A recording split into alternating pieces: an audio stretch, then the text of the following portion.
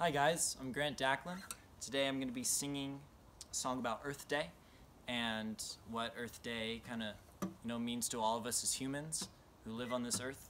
Um, I'm taking a poem by Jane Yolen, which I thought was a very beautiful poem, and I'm turning it into a song. And I hope you guys enjoy.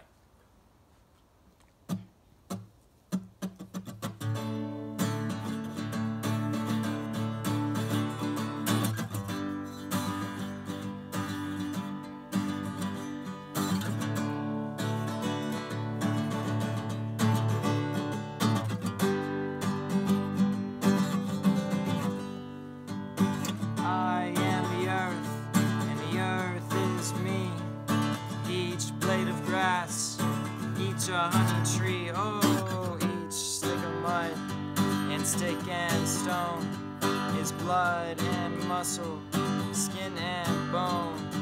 And just as I need every bit of me to make my body fit, so earth needs grass, stone, and tree, and things to grow here naturally. I am the earth, and the earth is me.